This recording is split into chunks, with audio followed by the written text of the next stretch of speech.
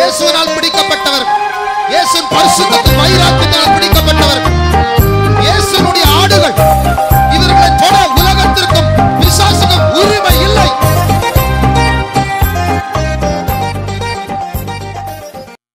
உபதேசம்னா என்ன?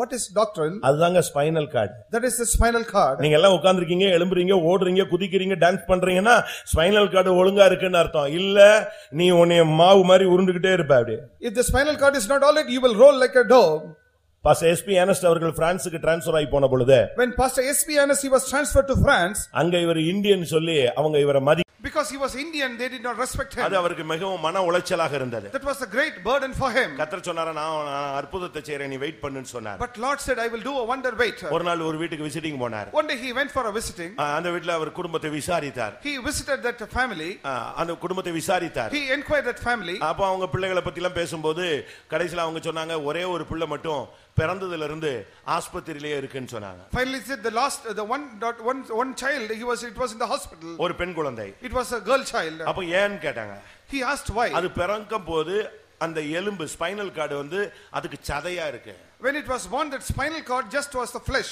அதனால அதால உட்கார முடியாது நடக்க முடியாது அதை ஒண்ணுமே பண்ண முடியாது அதனால பிறந்ததுல இருந்தே ஹாஸ்பிட்டல்லயே மெயின்டைன் பண்றாங்க இப்ப 17 இயர்ஸ் ஓல்டு இப்போ அது வரைக்கும் அதுக்கு அப்படியே பெல்ட் போட்டு அப்படி வச்சா அது உட்காரும் அப்படி செய்யும் For 17 years, it is embraced with blood. It, it, it, it can sit or it can stand. அப்ப இவர் சொ- ஆவியானவர் சொன்னாரா நீ போய் அந்த பிள்ளைய பார் But the Spirit of the Lord said, You go and see the நம்ம அந்த பிள்ளைய child. போய் பார்க்கலாமான்னு கேட்டாராம் He asked, Shall we go and see உடனே the அந்த child? மெயின்டைன் பண்ற அந்த ஹாஸ்பிட்டலுக்கு போயிட்டாங்க They went to that hospital. அந்த பிள்ளையோட கொஞ்ச நேரம் இயேசுவை பத்தி அவர் பேசினார் He spoke about Jesus for a while. பேசி பேசி பேசி பேசி விசுவாசத்தை ஃபீட் பண்ணிட்டார் He, ஃபுல்லா he spoke about Jesus and built faith. இப்போ நான் உனக்கு ஜெபிக்கட்டுமான்னு He asked, Shall I pray for you now? ஜெபிக்கலாம் Pray. கை வச்சு ஒரு ஒரு சிம்பிளான ஒரு prayer He laid hands and prayed a simple prayer. Prayer முடிஞ்சிருச்சு After that prayer, இப்போ இந்த பிள்ளை சொல்லுச்சு now this girl said, எனக்கு இந்த பெல்ட்டை கலத்துங்கன்னு Remove this belt.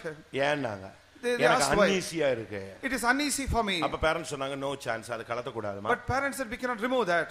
வயசு வரைக்கும் அப்படியே பெல்ட்லயே கட்டுப்பாட்டிலே வச்சிருக்கோம் எடுத்துட்டா அப்படி சதையெல்லாம் குழஞ்சு ஒரு மாதிரி நீ ஒண்ணுமில்லாம போயிடுவ If we take away the belt, you will fo- you will be disfigured. உடனே அவங்க டாக்டரை கூட்டு வந்தாங்க But they called the doctor. Doctor சொல்லிட்டாரு 17 இயர்ஸ் மெயின்டைன் பண்றோம் ஒன்ஸ் பெல்ட் எடுத்துட்டீங்க அதுக்கு பிறகு இந்த பிள்ளை தேராது If we take the belt, we are maintaining for 17 years, then it will be. We என்ன நடக்கும்னு. தெரியாது We cannot say பட்டு அந்த assured. பிள்ளை கொலாப்ஸ் ஆயிடுவா அது சதையெல்லாம் அங்கிட்டு இங்கிட்டு இழுத்துரும் ஒன்னும் ஒண்ணுமே இல்லாம போயிடும் Suddenly the girl can collapse. அவங்க என்ன சொன்னாலும் இவர் ஒதுங்கி நிக்கிறாரு பாஸ்டர் அவங்க கடைசியில அந்த பிள்ளை சொல்லுச்சு என்ன ஆகுதோ இல்லையோ எனக்கு பெல்ட்டை கலத்து என்னால இப்ப இனிமே பெல்ட் போட முடியாது But that girl said, I cannot put on this belt.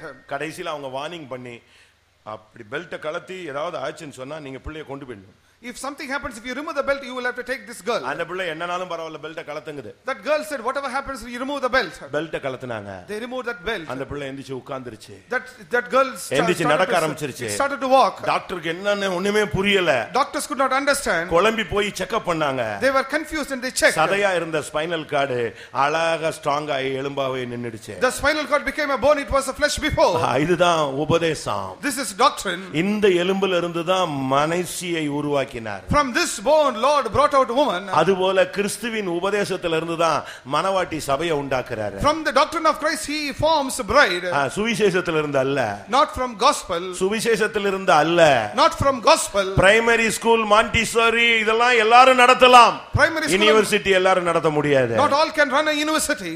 அதை நீங்க புரிஞ்சுக்கணும் You will have to understand that. Primary ஸ்கூல்ல பிசாசு துரத்துறது ரொம்ப simple It is easy. Primary school and chasing away devils. ஒருத்தனை மனவாட்டியா மாற்றிப்பாரு You try to make a person ஒரு ஆளை. கிறிஸ்துவுக்கு பூர்ணனாக எந்த மனுஷனையும் கிறிஸ்து இயேசுவுக்குள் தேறினவனாய் நிறுத்துகிறது தான் உபதேசம் It is a doctrine to make every man perfect in Christ. அன்றைக்கு ஒரு மனுஷனுடைய விழா எலும்பிலிருந்து ஒரு பெண் உருவாக்கப்பட்டாள் A woman was created from a bone from a man. அதுபோல கிறிஸ்துவின் சிலுவை மரணத்தின் மூலமாய் உண்டான அந்த உபதேசத்தின் மூலமாய் கிறிஸ்துவின் மனவாட்டி சபை உருவாக்கப்படுகிறது Through the doctrine which came on the cross, the bride of Christ is formed. அந்த எலும்பு இல்லாம நீ நிக்க முடியாது உட்கார முடியாது செயல்பட முடியாது Without that bone, you cannot do anything, you cannot walk. புதிய ஏற்பாட்டு சபை உபதேசத்தில் நிற்கிறது New Testament church stands on doctrine. லுக்கா எழுதின சுவிசேஷம் Luke the Gospel, ஏழாம் அதிகாரம் பதினைந்தாம் வசனத்துல 7th chapter, 15th பாலையில verse. தூக்கிட்டு போன ஒருத்தனை கத்தர் எழுப்பி விட்டாரு A person was taken away in a buyer, Lord made him to rise அவன் up. ஒரு வாலிப பையன் He was a young man. ஒத்தைக்கு ஒரே பையன் He was only son. வீட்டுல யாருமே வேற பிள்ளைகள் கிடையாது No other children at home. அந்த தாய்க்கு புருஷன் ஏற்கனவே செத்து போயிட்டான் That mother lost her husband. ஒரு வித விதவையாக கைம்பன கைவிடப்பட்ட ஒரு நிலவரத்தில் இருந்த வாழ்ந்த ஒரு பெண் She was a widow, she was forsaken. இந்த பையன் என்ன தப்பு பண்ணானோ தெரியாது We do not know what that young man இல்ல. ஆக்சிடென்ட் ஆயிட்டானான்னு தெரியாது We do not know whether he met an இல்ல accident. அவன் டைம் முடிஞ்சிருச்சான்னு தெரியாது We do not know whether his time has come மரணம் அவனை. சந்தித்து விட்டது But death met that young man. அவனை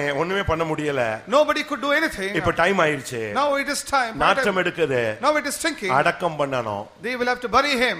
இவனை தூக்கிட்டு பாடையில கட்டி தூக்கிட்டு போறாங்க They take him in a bier and took him away. ஆ, யாரும் இயேசுவை கூப்பிடல Nobody called Jesus. ஆனா பாடையை தூக்கிட்டு அவங்க கல்லறை ஊர் எல்லை அருகே வந்து விட்டார்கள் They came to the outside of the city. இன்னும் கொஞ்ச நேரத்துல அவன் கல்லறை தோட்டத்துக்கு போயிடுவான் In a short while, he will go to this uh, ஊர் எல்லை graveyard. அருகே அவர்கள் வந்தபோது When they came out of the city, இயேசு அங்கே வந்தார் Jesus came there. இயேசு அந்த இடத்தை நோக்கி வந்து கொண்டிருந்தார் Jesus was coming to that place. அதுதான் பெரிய அதிசயமான ஒரு காரியம் That was a great wonder.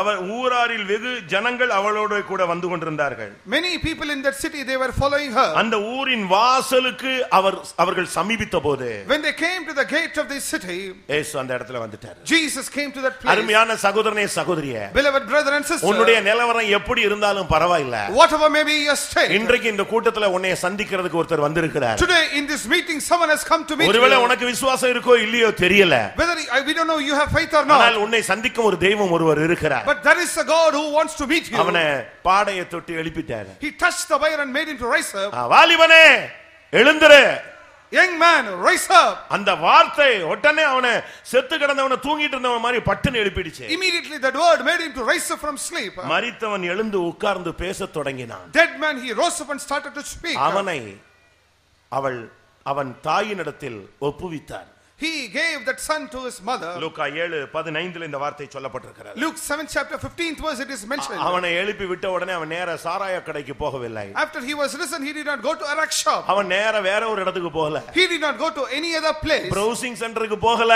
He did not go to a browsing center. அவனை எழுப்பி விட்ட உடனே நெட்டு சேட்டு டேட்டுன்னு உள்ள போகல He did not, after rising him, he did not go to net or அவன் ஒரு chatting. வாலிபன் He was a young man. அவனை எழுப்பிட்டு அவனை போயிட்டு வாப்பான்னு சொல்லி அனுப்பல He did not send him back like just like that. ஆ, அவனை எழுப்பி எழுப்பி அவனை தாயினிடத்தில் ஒப்பு கொடுத்தார் He gave him back to the mother. அந்த தாய் அவனை அப்படி உயிரோடு வீட்டு கூட்டு போயிட்டா That mother took him alive. எவ்வளவு அருமையான ஒரு சந்தர்ப்பம் What a wonderful incident. இந்த தாய் எதை காண்பிக்கிறது What this mother shows. கலாத்தியர் நான்காம் அதிகாரம் இருபத்தி ஆறாம் வசனத்தை பார்க்கும் பொழுது Galatians 4th chapter 26 மேலான. எருசலேமோ நம்ம எல்லாருக்கும் தாயானவள் The Jerusalem, she is the mother to all. ஒரு மனுஷன் உன்னை எழுப்பின பிறகு நீ இஷ்டத்துக்கு போயிடக்கூடாது நீ ஒரு இண்டிபெண்டன்ட் பிரீச்சரா போயிடக்கூடாது நீ தாயிட்ட சபைக்கிட்ட போகணும் After you are risen up, you should not go independent. You have to come to mother அவனை the church. எழுப்பி அவன் தாயினிடத்தில் ஒப்புவித்தார் After making him to rise up, he gave it to fa- நீ mother. இஷ்டத்துக்கு போயிடக்கூடாது You should not go wherever you நீ like. போக வேண்டிய இடம் தாய் You will have to go to the mother. அப்போஸ்தலனாகிய பவுல் அப்போஸ்தலனாக ஆறதுக்கு முன்பாக Before Paul became an apostle, அவனுக்கு கண் திறந்து விட்டது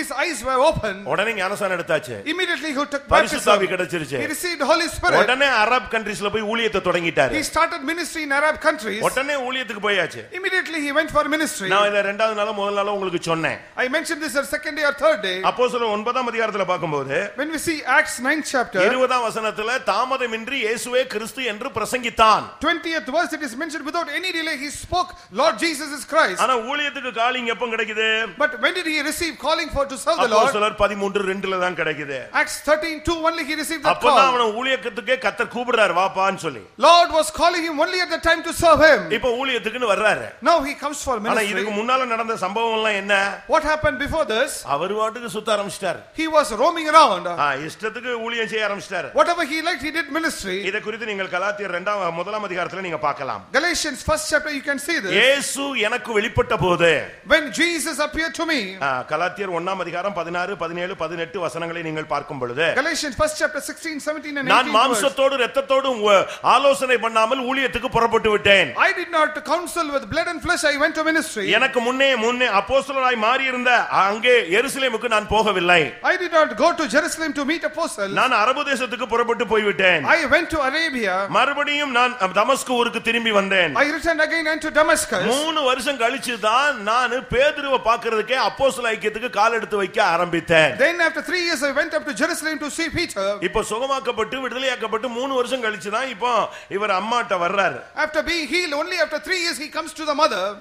பிரியமானவர்களே நாம் உயிரோடு எழுந்த உடனேயே நாம் சபைக்குள் வர வேண்டும் Beloved ones, after you are risen up, we will have to come to church. இந்த சத்தியம் பிடிக்கும் This truth we will like, ஆனா இந்த கட்டுப்பாடு பிடிக்காது but this control we will இந்த not like. உபதேசம் பிடிக்கும் We like this doctrine, ஆனா இந்த நடத்திப்பு பிடிக்காது but this leading we will not like. இவங்க சொல்ற சியோனும் எருசலேமும் பிடிக்கும் We like this giant and ஆனா அதுக்கு இவங்க போட்டிருக்கிற பாதை பிடிக்காது but uh, பாதை the, the path they have laid we will not like. அப்போ சொல்ல ஒன்பது இருபத்தி எட்ட பாத்தீங்கன்னு சொன்னா Acts 9:28. எருசலேமிலே அந்த அப்போ போக்கும் வரத்துமாக இருந்தான் He was with them coming and going out of இதே மாதிரி கன்வென்ஷன் இதே மாதிரி கூட்டங்கள் அப்படியே வந்து வந்து அப்படியே எட்டி பார்த்துட்டு போயிட்டே இருக்கிறதல்ல. நீ தாயிட்ட வரணும். Just not attending convention, you will have to come to the mother. அங்கதான் உனக்கு பராமரிப்பு இருக்கிறது There you will be taken care of. ஒரு தாயை போல வேற யாரும் உன்னைய பராமரிக்க மாட்டாங்க Who else can take care of you like a mother? அதனால தான் அப்போ பவுல் பேசும் பொழுது That's why when Saint Paul speaks, ஒரு தாயை போல நாங்கள் உங்களை காப்பாற்றினோம் like a mother we nurtured you, ஒரு தந்தையை போல நாங்கள் உங்களை சுமந்தோம் like father we carried you. அஹ், அவரது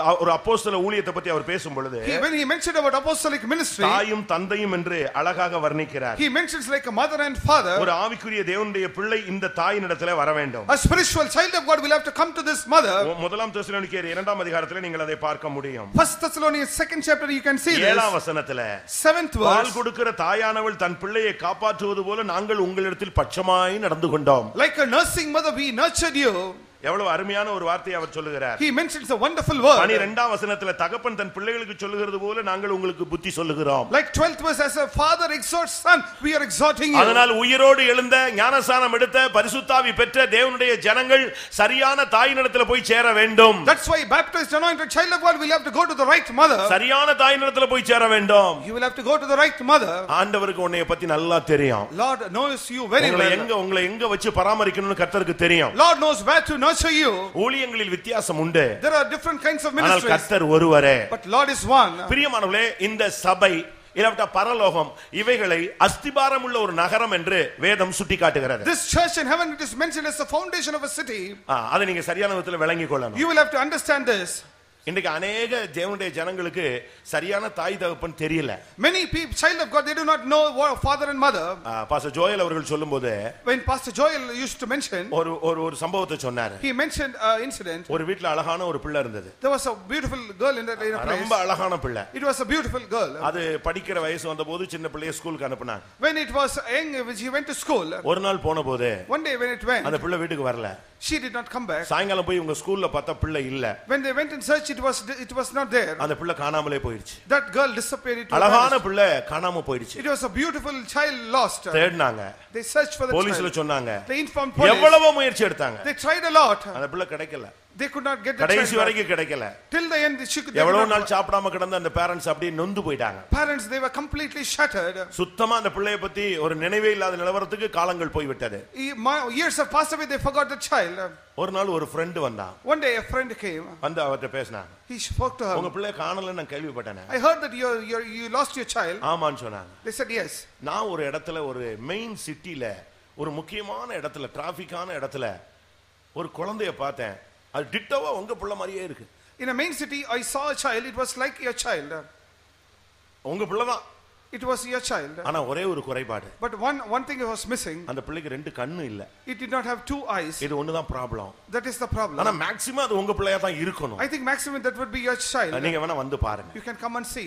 ரெண்டு பேரும் உடனே புறப்பட்டு போயிட்டாங்க Both of them, they immediately started. இவங்க அந்த சிட்டில போய் தேடி கண்டுபிடிச்சு அந்த ஸ்பாட்டுக்கு போயிட்டாங்க Went to that city and found out that spot. ஸ்பாட்டுக்கு போனா அந்த பிள்ளை ரெண்டு கண்ணு இல்லாம பிச்சை எடுத்துக்கிட்டு இருக்கு That child was begging without eyes. உண்மை சம்பவம் It was a true thing. ஆ, பிச்சை எடுத்துக்கிட்டு இருக்கு அந்த பிள்ளை That child was begging. அங்க எல்லாரும் போறவங்க எல்லாம் இந்த அழகை பார்த்து அழகான பிள்ளை இப்படி கண்ணு இல்லாம போச்சுன்னு சொல்லி அவன் காசை போட்டுக்கிட்டு போயிட்டே இருக்கான் They were giving money because this beautiful child lost இவங்களுக்கு அதை. பார்த்து கொதிச்சு போயிட்டாங்க Seeing that they were completely ஆனா தான். பிள்ளைக்கு கண்ணு இருந்துச்சே But our child had eyes. இந்த பிள்ளை கண்ணு இல்லையே This child lost eyes. ஆனாலும் கிட்ட கிட்ட போய் போய் போய் பார்த்து அடையாளங்கள் எல்லாம் அங்க அடையாளங்கள் எல்லாம் பாக்குறாங்க அதனுடைய ஆக்ஷன் அதனுடைய ரிசம்பிளன்ஸ் எல்லாம் பார்க்கும்போது தான் பிள்ளை தான் Coming closer, they could identify this is their own child. ஓடி போய் கட்டி பிடிச்சு தூக்கி அழுதுட்டாங்க They ran and embraced the child. ஆனா நாட்கள் போயிட்டதுனால அந்த பிள்ளைக்கு இவங்க யாருன்னே தெரியல கண்ணு வேற தெரியலையா அதனால அது இதுக்கு இவங்களை யாருன்னே தெரியல But the child could not understand them.